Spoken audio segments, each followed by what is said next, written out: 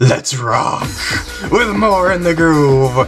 And today we are going to remember December because there's all sorts of holidays in December that you cannot forget. You gotta give gifts to people, you gotta celebrate. So let's remember December, made by Mind Reflection. it's a super happy, hardcore, fast, speedy, and hyper happy, and yeah, you get what I'm saying here. Uh, beginning, it's not not really gonna challenge you all that much. It's when it gets into the uh, streams, like when it starts getting into straight streams. But for now, it's just kind of kind of working you into the rhythm here. Uh, it's it's surprisingly a uh, rather endurance-based song, despite all the I mean how spaced apart the arrows are.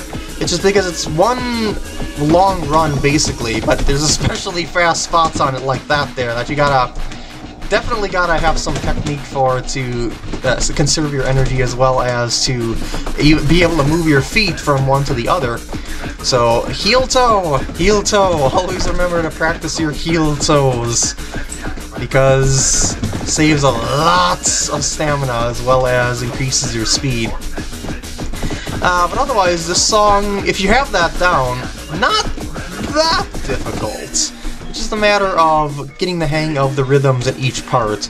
Like, because I was into, like, I got used to the rhythms at the other portion, I'm kind of off sync on ye old purple arrows, and yeah, I got a little bit off sync on the gallops here, but I'm, I'm sort of kind of hanging in there. I'm not doing too bad or anything like that. It's just that there's a bunch of stuff. it's just that there's a bunch of different kinds of step patterns in this song that you got to get used to.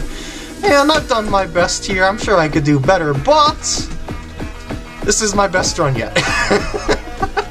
and it's so fun to play that I just gotta do something to recommend you guys play this song, basically. And uh, show you how to play the song as well, of course. So it's like a double duty video.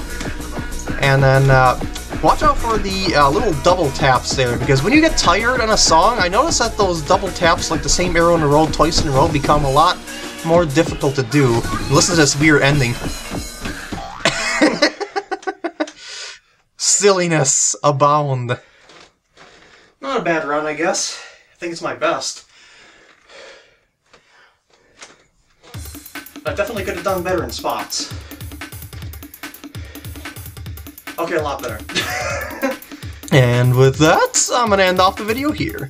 I hope you enjoyed, and I'll see you in the next video.